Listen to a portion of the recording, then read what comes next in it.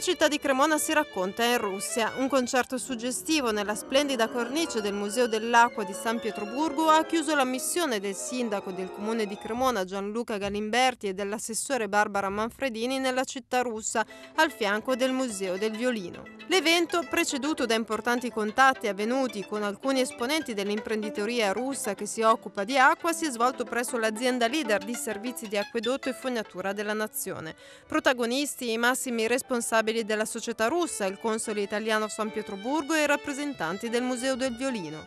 Secondo il sindaco della città del Torrazzo, l'evento, che ha celebrato un incontro tra culture e tra storie distanti e allo stesso tempo simili, è stato un punto di partenza per iniziare a ragionare insieme su come tutelare al meglio un bene della collettività, secondo logiche di unione.